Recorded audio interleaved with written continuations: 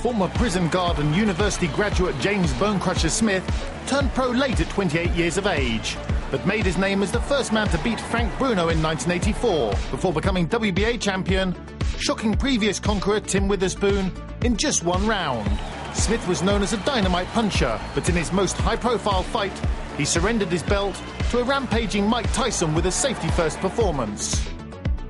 Uh, I knew how to work hard, had a great work ethic, and uh, I knew if I gave it all I had, then that I could be world champion. But at the same time, you had a dreadful start, didn't you, to your pro career? Tell us about your pro debut. Got knocked out my first fight. You know, a lot of people would quit, you know, especially on ESPN, and uh, uh, but I dug in and uh, worked on my conditioning.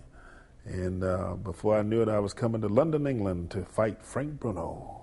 I remember vividly when I got to Heathrow Airport, London, I said, I'm going to knock Frank Bruno out. Where is he? I'm going to knock him out. We boxed late at night, and I could hear the British fans singing in Wembley Arena, Bruno. I'm scared to death. I was tired. I was wanting the fight to be over, but he came to me in the last round, and I turned the left hook over, and I guess you can say the rest is history. Is that one of the sweetest wins of your career? Yeah, because the next fight with just 14 fights, I'm in Las Vegas fighting Larry Holmes for the heavyweight championship of the world. I take his place. Did that come too early for you in your career? Well, I went 12 rounds with Larry Holmes. I mean, a very good fighter. I mean, he, Holmes had been heavyweight champion of the world three time, uh, three years before I even turned pro, and I'd rate Larry Holmes probably second or third of all the heavyweights of all time. I'd, I'd have to give put Muhammad Ali in front of him, but. Uh, but he was very good. But eventually you did win a portion of the world heavyweight title and in spectacular style.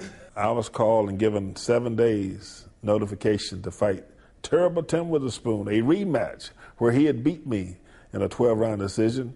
And uh, at Madison Square Garden, HBO, three knockdown rules in effect. Boom, boom, boom. He goes down one time. He gets up. Boom, boom, boom. Goes down, gets up, spit two teeth out. Boom, boom, boom. He goes down three times. And the new heavyweight champion of the world, James Bonecrusher Smith. But when you fought Tyson in this great unification tournament, everyone thought two explosive punches, it's going to be over really quickly, whoever wins. And then it turned out to be quite a dull 12 round fight, yeah, didn't it? Yeah, I fought a defensive fight.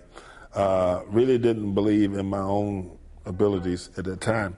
And, and really, in looking back, if I had moved my hands and jumped on Tyson, the fight would have been over very quickly. I would have beat Tyson also. Did he intimidate you at all? Because he did have that scary reputation. I think the media did more than, than Tyson. You know, he he kind of followed through on it, but the media really hyped Tyson up more than so than what he really was.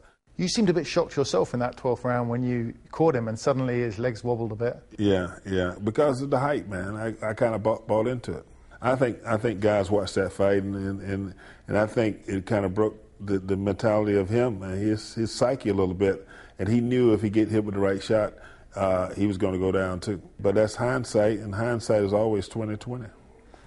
I like that. Uh, good to see uh, two great fighters. Uh, Jim, you were ringside for uh, for one of the Bonecrushers fights, weren't you? Yeah, I, I was ringside when, when he beat Tim Witherspoon. Uh, it was probably one of the times when the three knockdown rule, you know, I thought they should probably scrap it. Uh, Witherspoon was hurt for the first knockdown, but his head was clearing and he was actually getting back into the fight after the second and third. But when he was on the floor for, for the third time, which was as much balance as anything else, then uh, Bonecrusher became champion of the world. But, but you couldn't feel bad for him, he deserved yeah. it, you know, because what a career he had up to then. Oddly,